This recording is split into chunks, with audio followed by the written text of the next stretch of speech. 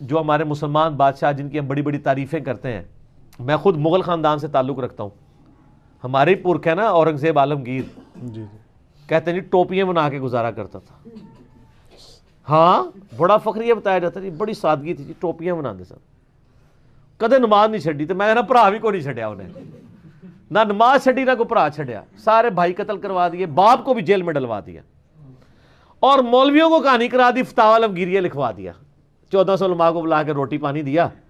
انہوں نے بیٹھ کے فقہ نفی کی فتح عالمگیریہ لکھ دیا۔ اس کی ایسے عالمگیر، اورنگزیب عالمگیر زندہ کیوں ہے کہ اس کو علماء نے گود میں لے لیا تھا، بلکہ وہ خود علماء کی گود میں بیٹھ گیا تھا جا کے۔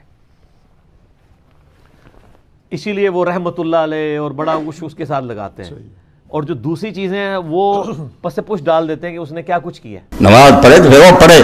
جی سلطان اورنگزیب عالمگیر رحمت اللہ علیہ پڑھے کئی اتنے ناراض ہونے نتھرے پھلا کے مسجد چھٹ گئے کہ مولوی صاحب نے عالمگیر اورنگزیب نے عالمگیر نے رحمت اللہ علیہ۔ کرا انہیں فتح عالمگیری سے لکھائی اے حدیث فتح عالمگیری دیکھی ہے۔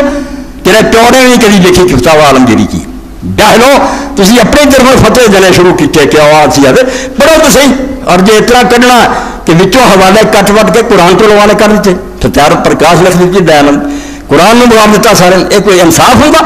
کتاب پڑھو، ایمانداری نہ کہ بندے نے کیا کیا، کس سے آ اس بات کیا؟ آپ پہ پتہ لگ جاتا کہ گل اپنی جگہ سے سیٹ۔ کچھ بھی نہیں خراب تھوڑیاں نیتاں خراب۔ ہے اورنگزیب عالمگیر رحمت اللہ اور آدمی آخری جب تو بعد ڈیڑھ دو سو سال ہو گیا، مسلمانوں میں اورنگزیب عالمگیر نہیں لبا۔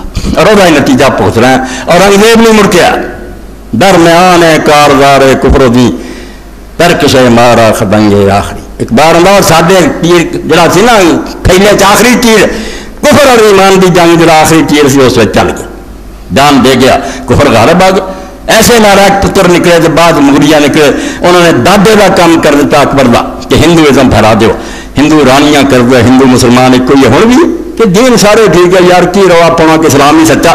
وہی کفر جڑا اکبر، دکھ میں الہاد دے کے اکبر پر ورید بعض اندر فطرت دارا دلی۔ اے سمو کی لڑائی جڑی سی جب سارا ہندوستان راجپوت آ گیا داراشکو کی گل داراشکو انہوں کا کی لگتا صرف اس تم ہندو سی مسلمان کا پاؤں ہندو بالکل جنیو پہن کے خطبہ دین لے آ گیا شاہ جہاں نے کہا یار مسلمان میں تینوں بنا چاہنا قرآن کوشش کر مسلمان خطبہ دین لے آ کے ہندوؤں کا جنیو گل سی کافر پکا یعنی کفر پھیلاؤ اکبر نے جو کیتا سی داراش کو نویں سرے تو جمیا اکبر جمیا تو اورنگزیب لوگ آدھے برا مارتا مار جانا کی کرنا بزرگوں کی تین چار سو سال کی کمائی ضائع کرنا میدان چاہ گیا انہیں کیا میرے ہوں یہ نہیں ہو سکتا۔ کفر پھیل جائے میں جان دے دوں گا اسلام میں بتاؤں۔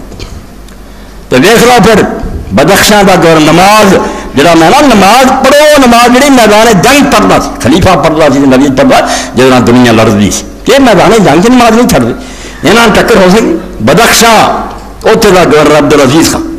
بغاوت کر۔ کابل تو رہا کہ اس کلکتے تک حکومت سی مغرا کوئی چھوٹا راج؟ انکار کرتا حکومت من سلطان نے آخر چڑھائی کر۔ زور کا وقت آیا۔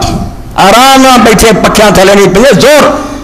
میدان گرم فوجاں کھڑیاں سلطان نے جیسے نماز زور کا وقت ہے کوڑے تو اترے۔ فرمایا کہ اذان؟ اذان خیر میدان جنگ، سلطاں پڑیاں ایسے اطمینان اور سکون دشمن بھی دیکھتا کہ یار انہیں پرواہ کوئی نہیں کہ میدان جنگ بعد خود جماعت کرائی، اتنے اطمینان اور اعتدار اور سکون۔ رپورٹ انہوں نے دسیا۔ جا کے عبد العزیز خان کیا؟ جب لڑ رہا ہار ہی ہوتا۔ میدان جنگ چنے نماز پڑھائی ایسی ہے، پتہ ہی نہیں سی رکھتا بھی کوئی جنگ ہے ولی نہیں ہو جی نماز پڑھتا جس طرح سنتان کی پابندی کر کے پڑھی۔ عبد العزیز نے اس سے آخیا جنگ بند کرو۔ با چنی کس، در افتادن، بر افتادن اس۔ یہ جہ بندے نہ جنگ لڑنا، اپنے آپ کو ہلاک کرنا۔ میں خدا بھی طرف لانت چلنا چاہنا، کوئی جنگ کی لوڑ نہیں۔ دیو حکومت